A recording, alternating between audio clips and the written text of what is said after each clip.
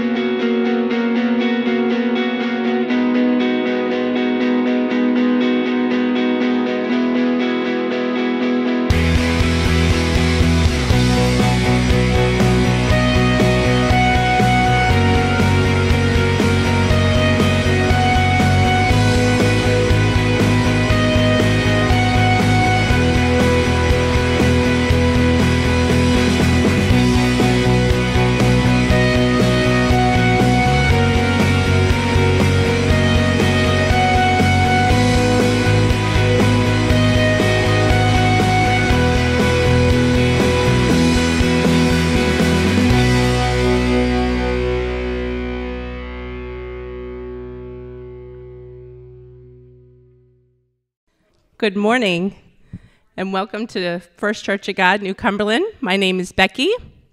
It's good to see everyone here today. I was really happy that it wasn't raining this morning. God did me a favor and watered all my plants and flowers and stopped the rain before I got up, and it's going to be a glorious day. So thank you, Jesus. We're going to begin. We want to get our eyes focused, our hearts, our minds, everything we have focused on Jesus.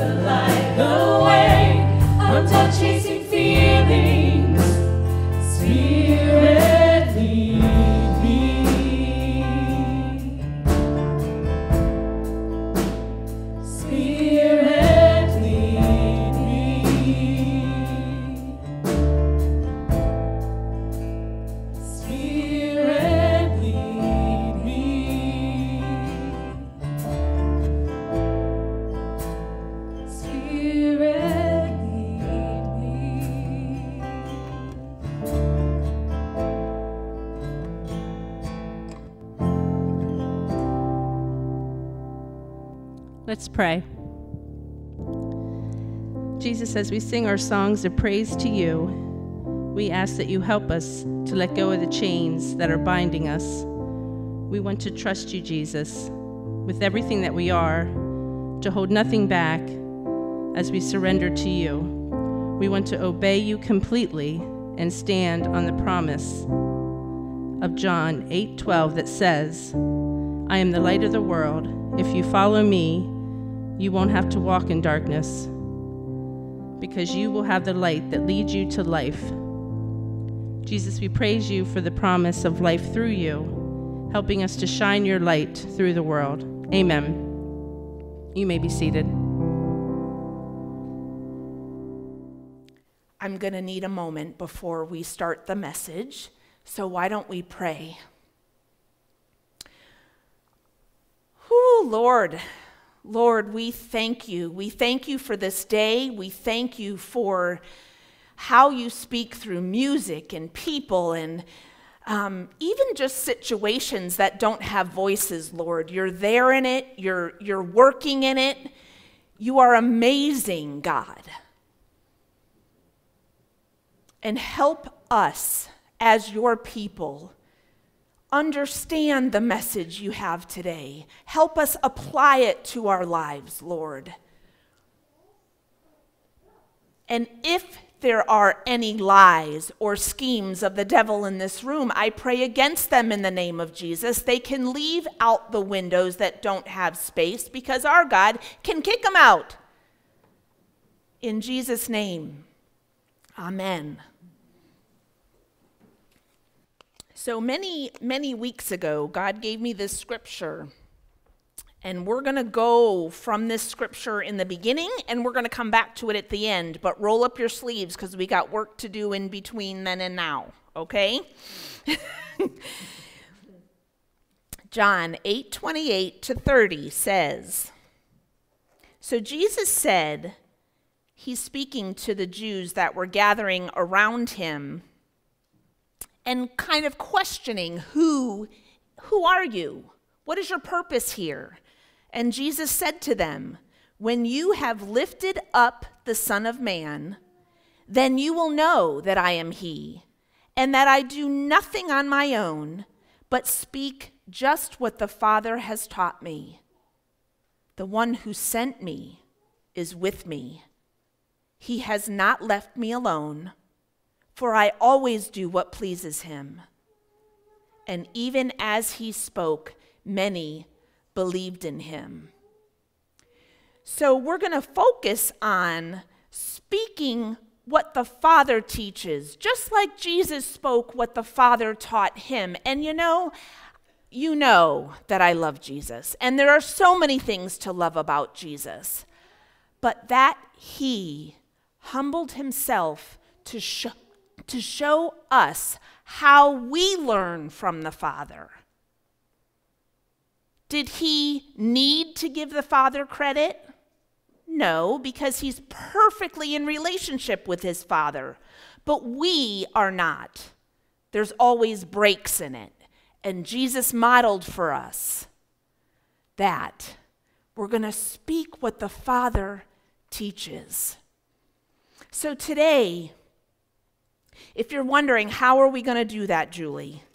If you're wondering, I don't even know if I can hear God speak and I'm supposed to speak what He teaches, we're going to cover lots of ground today. But the Lord put this all in His Bible for us. He's so good like that.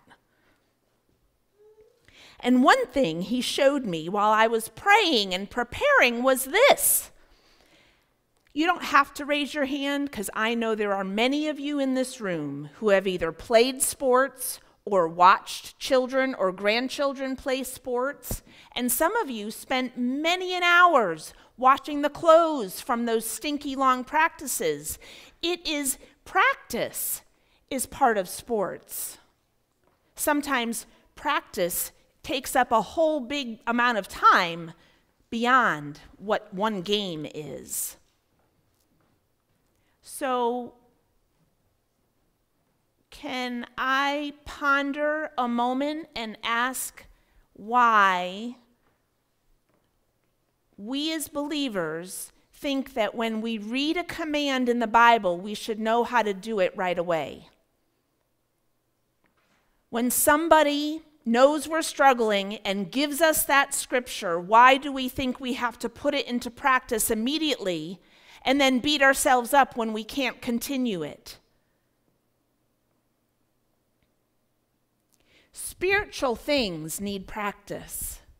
Jesus is talking about big things, listening to what the Father is saying, speaking what the Father teaches, lifting him up and exalting him in daily life. He's talking about hard things. So today we are going to understand that we are disciples of Jesus Christ and we are in training. We are in training, and training requires practice. Nobody comes out of the womb knowing how to discern God's voice. Nobody comes out of the womb knowing how to read His Word.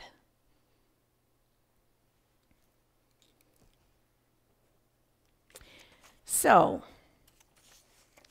discernment is a fancy word for knowing the difference between God's voice and our own, knowing the difference between the devil's lies and God's truth knowing the difference between God's will for our lives and our own will for our lives. Before I knew what this word meant, God was teaching me to discern between the devil's lies and the truth. And I've been here before speaking about that. That is important. That is important. And if I may remind us and encourage us, we are in the end times. We are in the end times. There is an urgency to understand the truth versus the devil's lies. No, I don't know when Jesus is coming back. Only God does. But what I do know is his Bible says there will be all kinds of teachers twisting the words, trying to get you to go astray. So I want to see you all in heaven. I want you to know the truth. I want you to be able to hear God when He's speaking because He will not direct you in a wrong direction. It is the perfect direction for you every single time.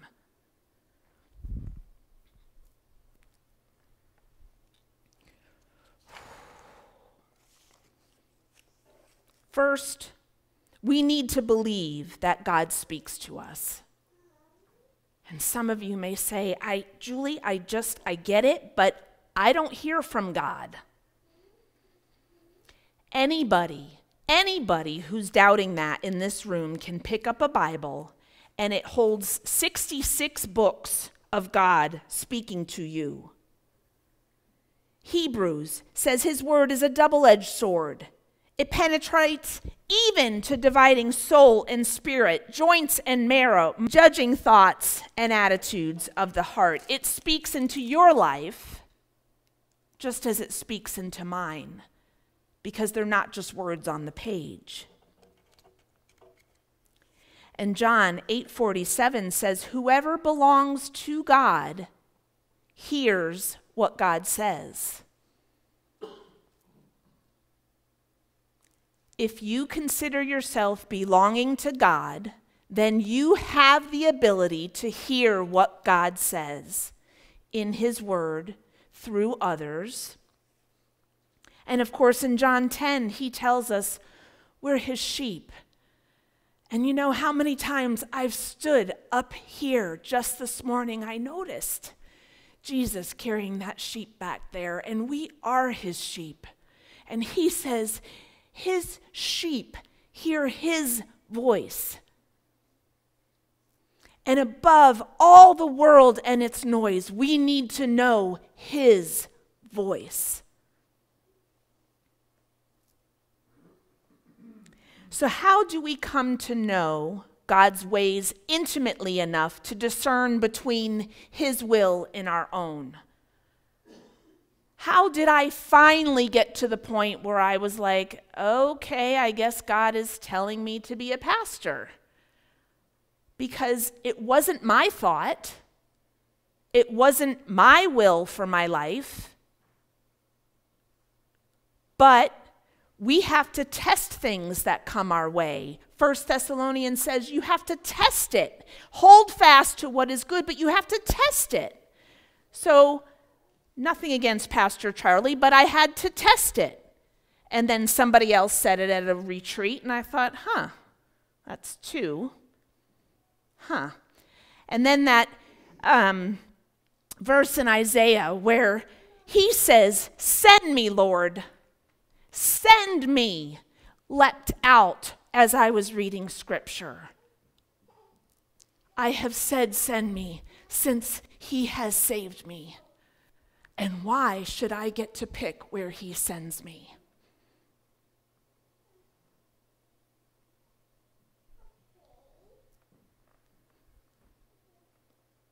So we do test it.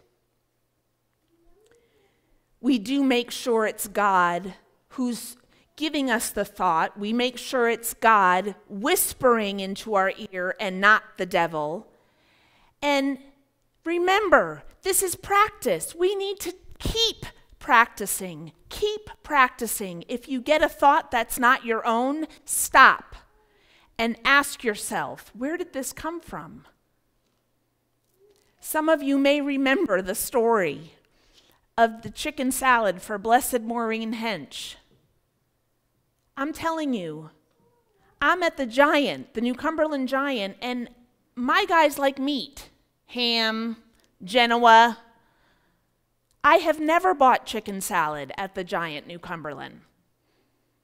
But I kept getting this thought about the dang chicken salad. And I'm like, I don't, I don't need chicken salad. It's not, on, it's not on my list. And then God, because He knows I'm visual, shows me Maureen's face. So for me, I mean, would the devil have wanted me to get chicken salad? Maybe the devil would have wanted me to add to my bill. I don't know. But I needed to know that it was for somebody or I wasn't going to buy it. And there was Maureen's face. And if I remember that time, it was the best chicken salad Maureen had ever had. So it wasn't my will. I didn't go into the store with something to buy something for Maureen, but God, our sovereign God, said, I'm going to speak to Julie, and she better listen, because I want to bless Maureen today.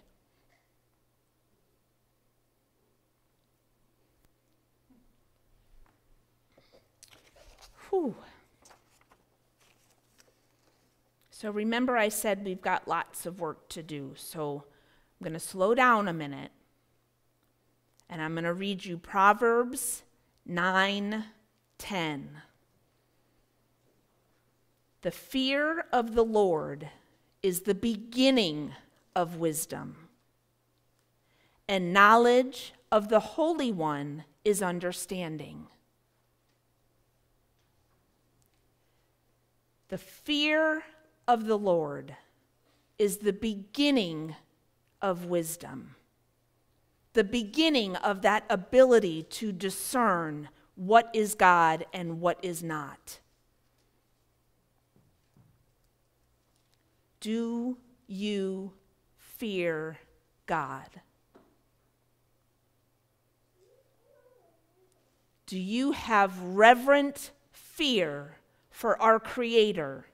our giver and taker of life, our fullness of truth and grace, wrath and mercy? Do you have a reverent fear of him? And if the answer is yes, then you are at a good place to start training for that discernment.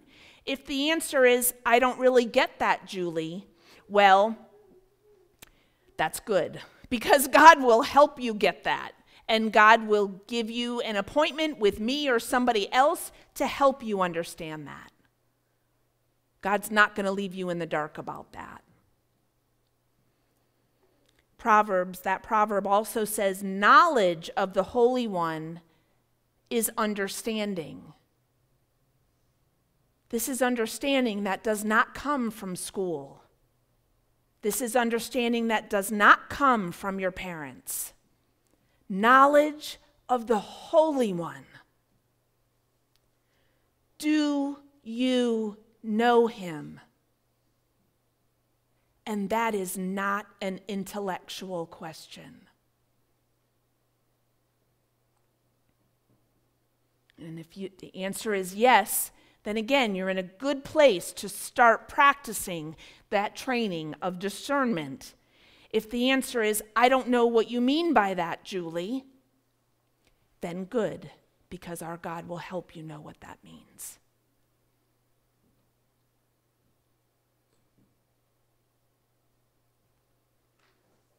Have you asked God to speak to you? Have you asked Him to give you discernment, especially in times of confusion, being overwhelmed? If somebody speaks into your life and you're going, Should I accept this wisdom? Should I accept this advice? Have you asked the Lord to give you discernment? 1 Kings 3 9 to 10, King Solomon was an itty bitty king. He was young after his King David uh, died, I believe. And King Solomon said to the Lord, I, I, need to, I need help. I need to know what is right from wrong. And verse 10 in that passage in 1 Kings says, The Lord was pleased that Solomon asked him. So, if the Lord is pleased that Solomon asked him for help to know the difference between his will and not, to between right and wrong, truth from lies, then isn't he okay? isn't he going to be pleased when you ask him to help you with discernment? And that is an area that we can always grow in. We're never going to get to be the best discerner around. Even Olympic gold medalists continue to practice that same skill that they won the medal for. Hebrews 5:14 says, "But solid food is for the mature, who by constant use have trained themselves to distinguish between good and evil." Well, there it is. His confirmation that we're in training. Not Julie's words, his words that we're in training. Constant use, constant training. And if you are a believer in the end times, then you are a target for the devil. We're always a target for the devil, but there is an upbeat evil going on in this country and just because we don't live in a high violence area doesn't mean the devil's not going to want to get between you and God. Constant use, constant training between good and evil. There's really no in between. The Lord continues to give me opportunities to speak into women's lives, women who some one on one, some I spoke to a group this past week who make mistakes, get stuck in their failures, and continue to point fingers at themselves, not seeing, not realizing that that is the work of the devil. So then I get to use some discernment in how I then point them back to our Jesus, who does not point fingers at them, but rather opens his hands and says, Come, come, child. There is no condemnation when you are in me. We never know how God will use the discernment that we have there are times, okay, let me pause a minute. There are times when There are lots of times when we're together worshiping and we're talking about sharing the good news, being his hands and feet. And we get excited sometimes to go out and share the good news, especially when God has done something good in our lives and we're like, whoo, he's always good. Recently good in our lives, and we want to share it. And there's lots of people that need to hear the good news, there's no doubt about it. But I pray, I pray as you go forth in training in your discernment that you will listen to our sovereign God before you share the good news. Why, Julie? Why? Isn't it good to share the good news? Some years ago, I was at a restaurant with my cousin, and I was hippy skippy happy about what Jesus was doing in my life, and Jesus was ready to leap off my tongue with this young hostess and her young waiter. I don't know if they were together, but that's not the point of the story. They were um, artists, and they were showing us their drawings. And we had this rather, the, the conversation got rather heavy. We were talking about all the hard things that kids go through bullying, you know, some who are abused. And somebody mentioned darkness. One of them mentioned darkness. And I was right there ready to scream about the light of the world we just heard about through Becky's prayer. And the Lord said, Nope. That's not your job, Julie. That's not your job to tell them about Jesus today. What you're going to say is, you cannot, you cannot know the light until you go through the darkness. So I said it, and these people acted like that was a huge revelation. And afterwards, I was so confused. I had to really pray, Lord, why didn't you want me to share Jesus? Well, we know God doesn't have any responsibility to answer our why questions. But what I do know and what I do trust is that our God wants them to be saved, they're not. But I was not the chosen vessel. So let us not assume that we are the ones just because we know the truth. Let us not assume that we are the ones just because we can discern what's going on in someone's life that we're supposed to speak it. Our sovereign God knows that person, whether it's your wife, your husband, your child, your grandchild, better than you. Perfectly, in fact. And if it's a stranger, he knows their life in whole. You do not.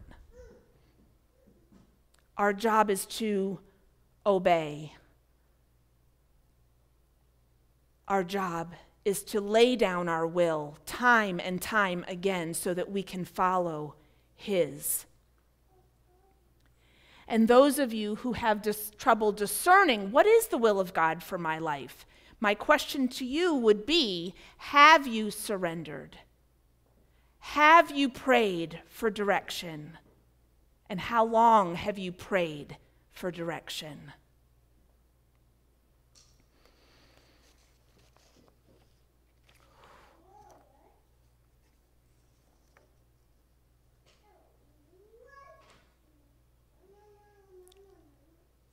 I'm going to read the scripture again that we started with. I promised I would do that, and here we are.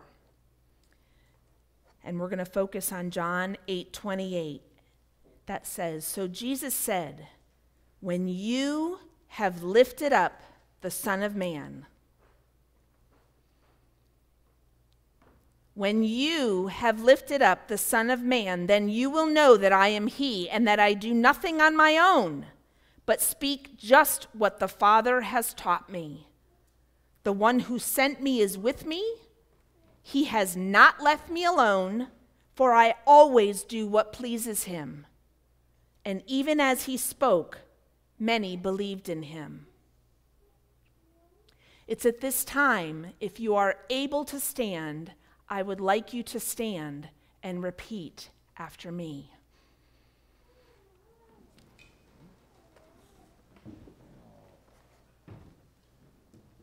I'll go line by line. I won't get too far ahead of you. So, this is based on that scripture, changed for our purposes. When I have lifted up the Son of Man, then I will know that he is Jesus. That I do nothing on my own, but speak what the Father has taught me. Jesus sent me into the world, and he is with me. He has not left me alone I want to do what pleases him.